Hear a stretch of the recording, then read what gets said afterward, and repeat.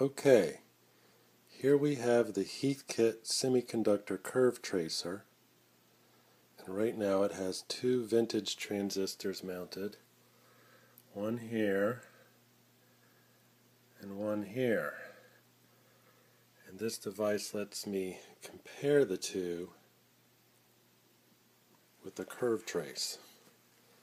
So here we have normal oscilloscope Right now it's just showing a dot because I have zero voltage. So I'm going to start to give it some voltage. And there now it's conducting, showing a trace.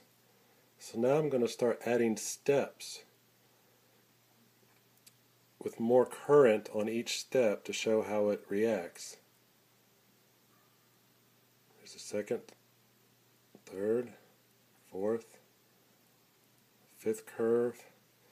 So now I'm getting a full readout of current versus voltage of this transistor. And as you can see, it's rather linear in nature, so this is a pretty nice transistor. Now I'm going to flip the switch to see how the other one compares with the same settings. And boom, the other guy has much more output than the first guy.